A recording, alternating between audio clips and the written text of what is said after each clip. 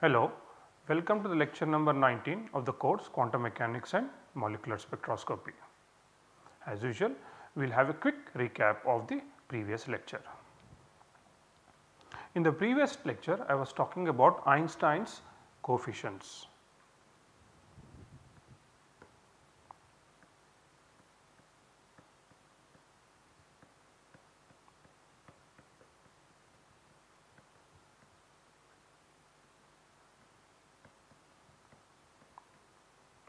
Okay. These are just given by if there are two states 1 and 2. So, the rate of absorption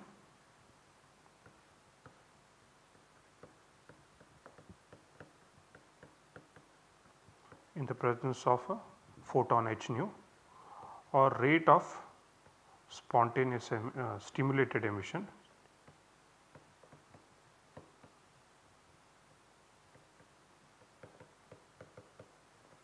H nu and spontaneous emission.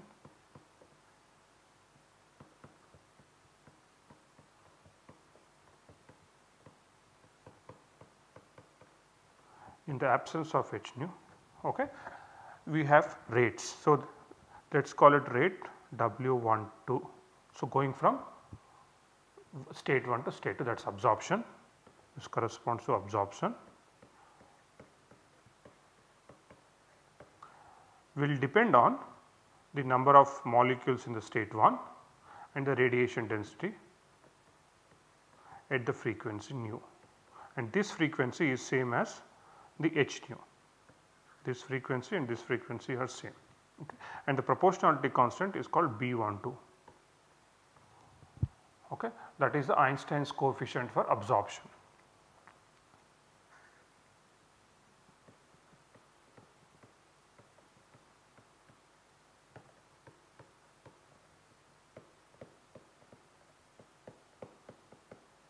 Similarly, W21 that is emission.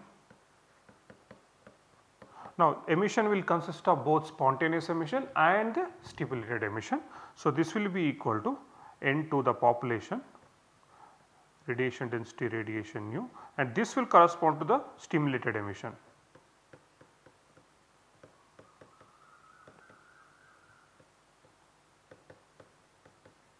plus N2 spontaneous emission does not need the radiation. So, it does not need or it in it happens in the absence of H nu therefore, it does not need H uh, uh, rho, radi uh, rho radiation. So, this is for the spontaneous emission.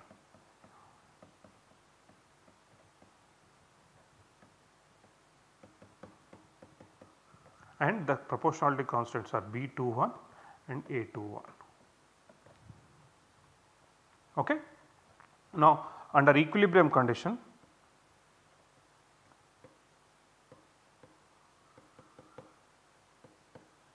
the rate of forward reaction we know if, have, if A and B are in equilibrium. So, the rate of forward reaction must be equal to rate of backward reaction. So, rate forward must be equal to rate backward. So, that means W12 must be equal to W21 okay. In such scenario, so the B12 N1 rho radiation at nu must be equal to B21 N2 rho radiation nu plus A21 N2.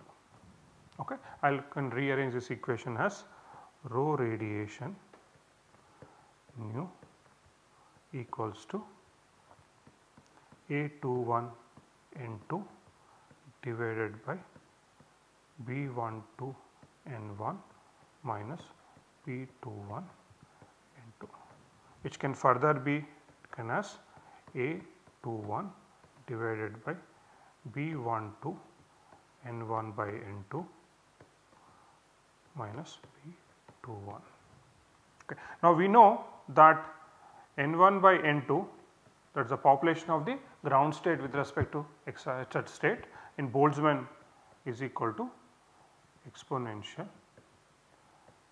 delta E by kT or exponential h nu by kT where delta E is equal to E1 sorry E2 minus E1.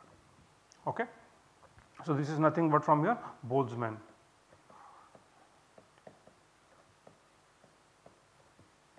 distribution.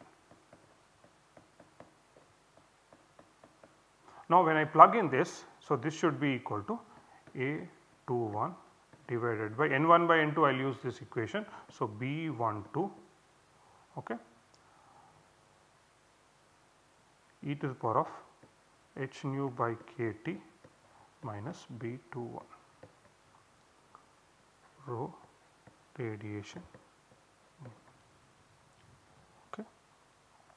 Now, if I go back little bit ahead and look at the transitions okay, transition probability then I had one term. So, your um, Pf of t was equal to some constants I do not you can go and look it up okay multiplied by what you had is delta nu fi plus nu oh sorry omega fi plus omega my plus omega fi minus omega square and f uh, epsilon dot mu i square. So, this we know is transition moment integral okay and there were some constants okay and there was this term which is the delta function. Now you see we said that the omega fi plus omega delta and delta omega fi minus omega cannot be simultaneously correct. Okay. So, you cannot fulfill these two conditions simultaneously because in this case omega should be equal to minus omega fi and in this case omega must be equal to omega fi. So, simultaneously this cannot be right. So, we said this one will correspond to absorption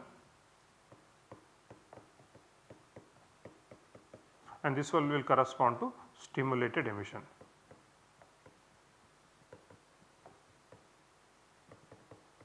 So, a molecule can either go absorption or stimulated emission at a given point of time. Okay, in general it can it can happen both things can happen, but at a given instance only one of the process will either it will go from uh, the ground state to excited state or come back from the excited state to ground state. It cannot happen simultaneously. So, for absorption process we only took this one.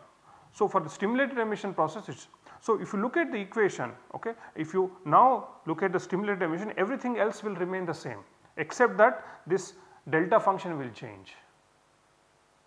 Okay.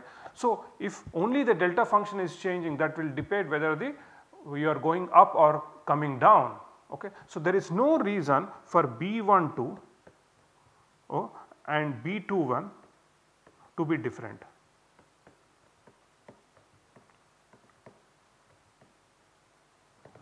Therefore, B12 must be equal to B21 because essentially all the other integrals and the constants are exactly the same.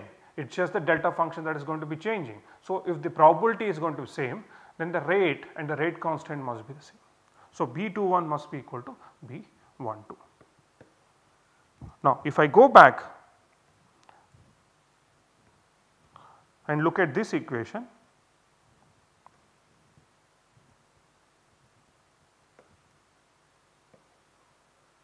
okay. And now I plug in.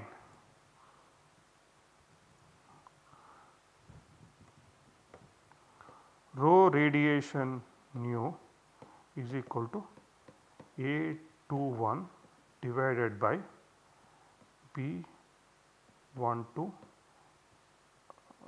N1 by N2 minus B21 this was equal to A21 by B12 e to the power of h nu by kT minus B21 but I said B21 is equal to B2 so this is equal to I will call it as B. Similarly, A21 I will just call it as A because spontaneous emission will only happen from the upper state to the lower state and it cannot happen from the lower state to the upper state. So, essentially what you have is okay, rho radiation nu equals to A divided by B into e to the power of h nu by kT minus 1 where A is equal to A21 and B is equal to B12 is equal to B2 under that approximation. Okay. So, if you have this then you have this.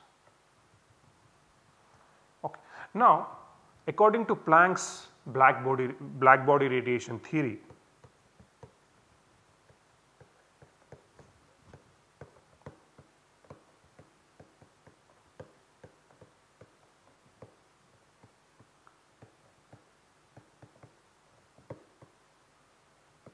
rho radiation nu is given by 8 pi h nu cube by c cube okay, into 1 over e to the power of h nu by k t minus 1. Now, in all this case of course k is Boltzmann constants.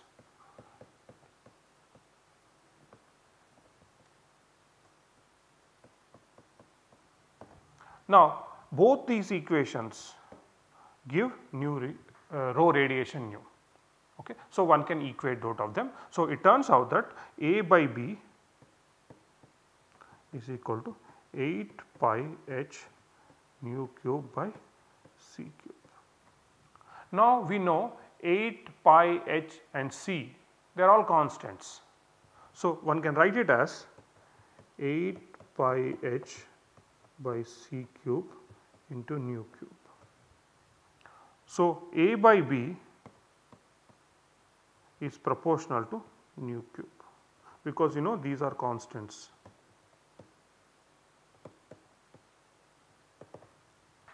So, what is A? It is the rate constant for spontaneous emission and what is B? It is the rate constant for stimulated emission. So, the ratio of rate constants Actually because both uh, rate constants uh, uh, both the A and B the rate constants for the stimulated emission and rate constant for the spontaneous emission we will act only on the population of the excited state. So, not only rate constants but rates as well. Okay. So, ratio of the rate constants or rates of spontaneous emission to stimulated emission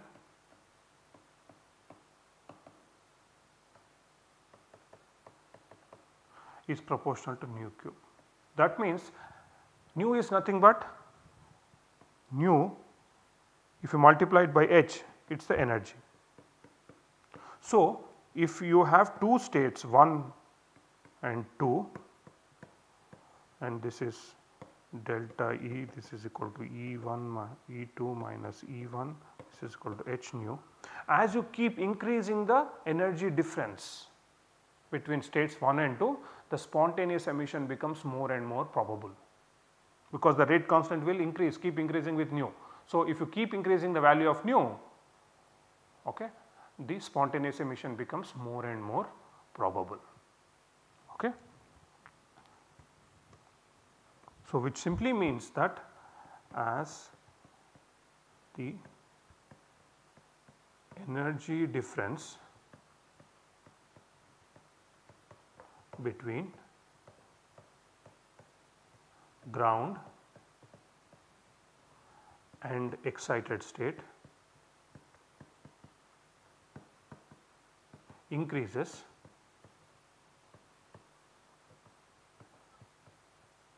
the spontaneous emission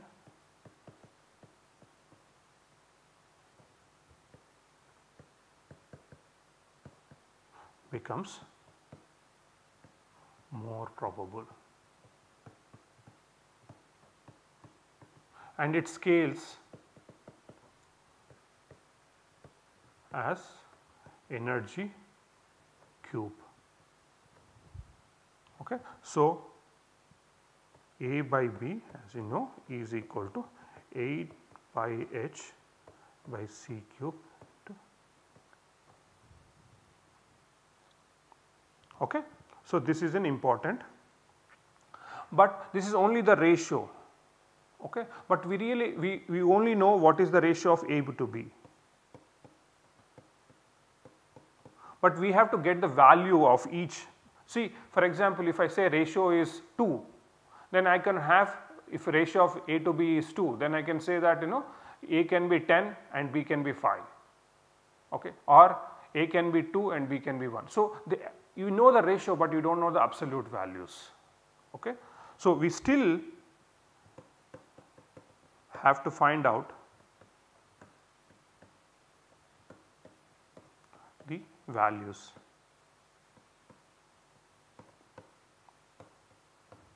Okay. For this we will return to one of our older derivation that is the Fermi's golden rule. Okay. So, let us now look at the Fermi's golden rule.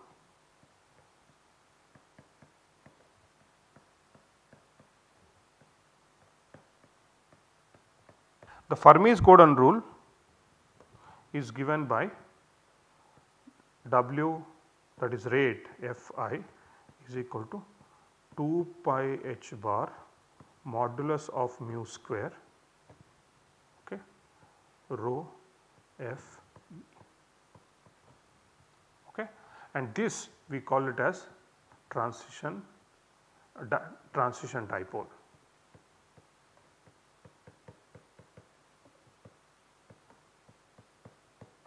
And this is the uh, rho Fi is nothing but density of states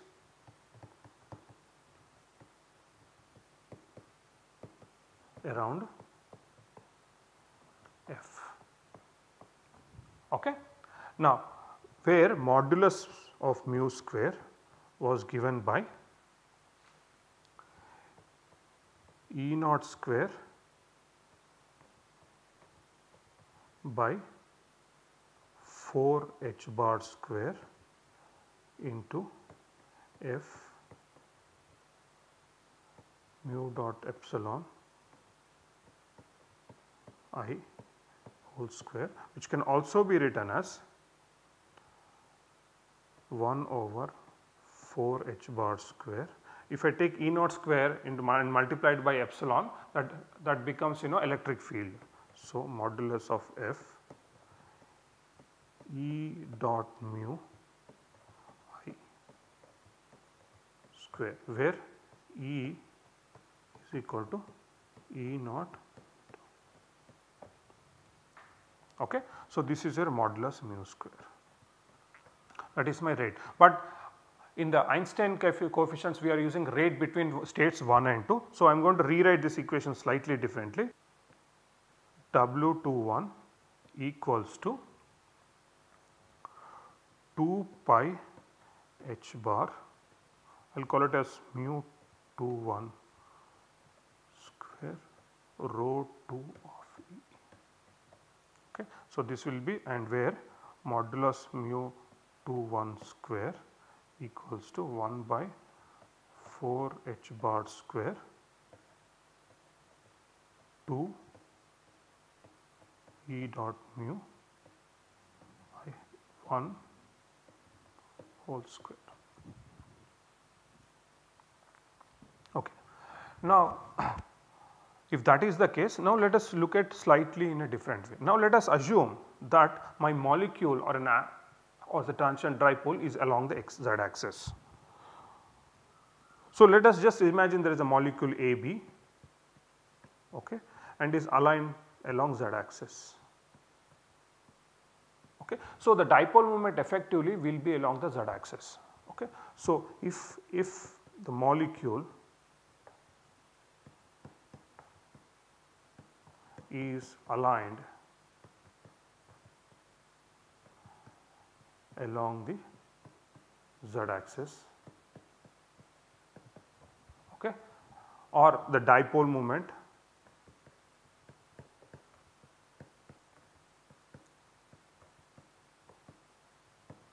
of AB molecule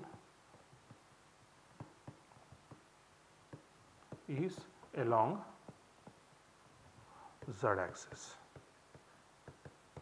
Now, your mod mu square will now then become mod mu z square because the dipole moment is along z axis. So, this will be equal to okay, 1 by 4 h bar square modulus of sorry integral of 2 okay. Now mu z dot E 1 square because the essentially all the molecule is along the z axis. So, you know only the z, z projection of the dipole moment or the dipole moment along z axis will get projected onto the electric vector E. Now, if that is the case in such scenario and when we take isotropic light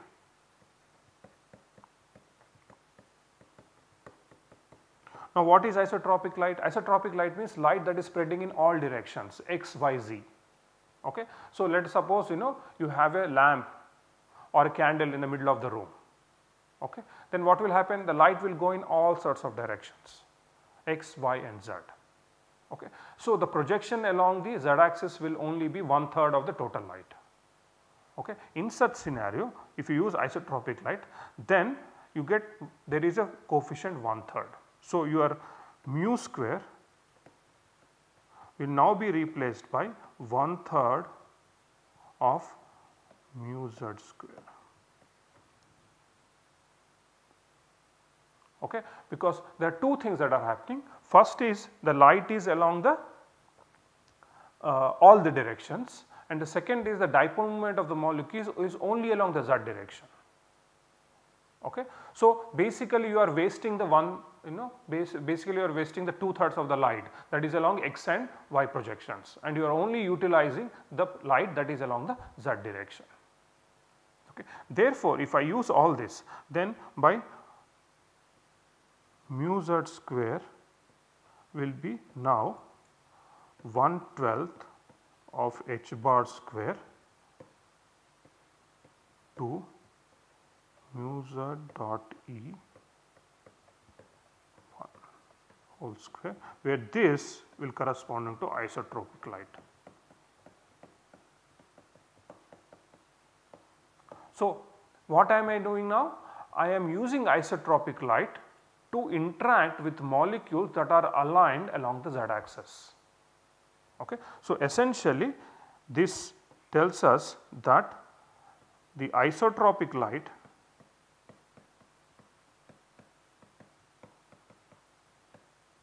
is interacting with molecules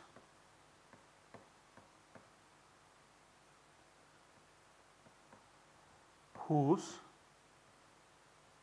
dipole moment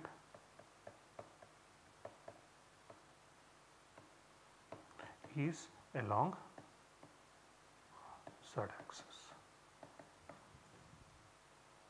Okay. So, in such scenario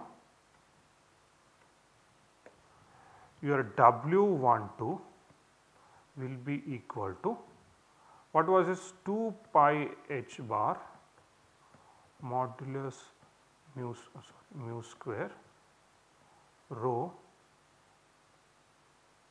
2. So, that was our equation.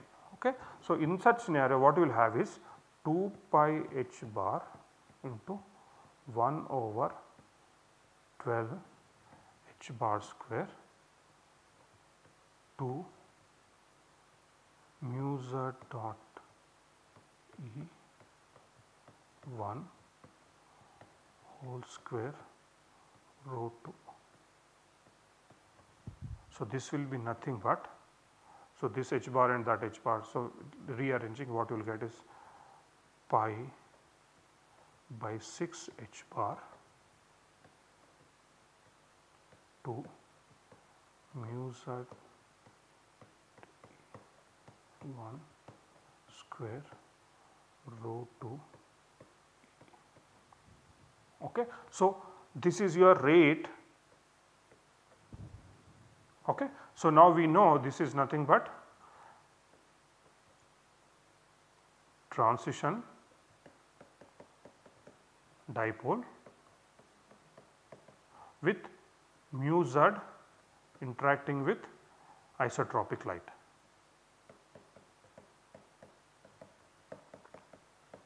And this is density of states.